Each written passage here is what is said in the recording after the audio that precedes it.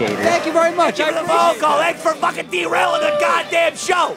You piece of shit. Let that guy have it because you know. That guy. I hope. I hope the blips destroy your car. What? It's Is that- nothing but whoa, whoa, tires. whoa. Is that racist? The blips? No, the blips are a gang.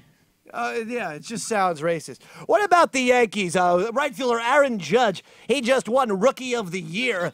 Do you think he was deserving of that, Bo? Yep, I think he was deserving of that rookie something year. Just, something just popped in my mind just now. This Aaron happened. Judge had an amazing rookie year and deserves that award. Something just popped into my mind though.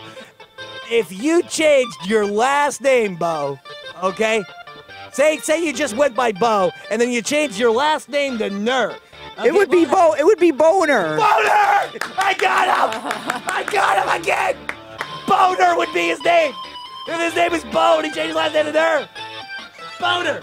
Yep, that's You're right. listening to Dave and Bobo in the morning, WFAN. Let's have sex, huh?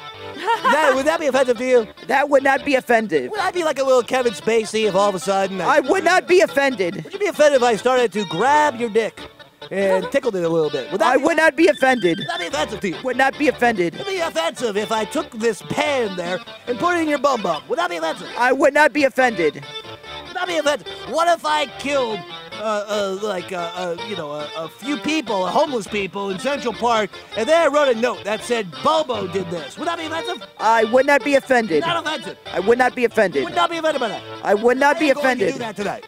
I would. I would Those call a law. homeless guys are dead. I would call a lawyer immediately, but I would not be offended. offended? No, I would not be offended. We're talking to sports. Dave and Bobo on WFAN. We're doing all the sports tonight. Would you be offended if I took a machine gun, okay? I opened fire on Roy, Flitzy, and, and, and I shot you.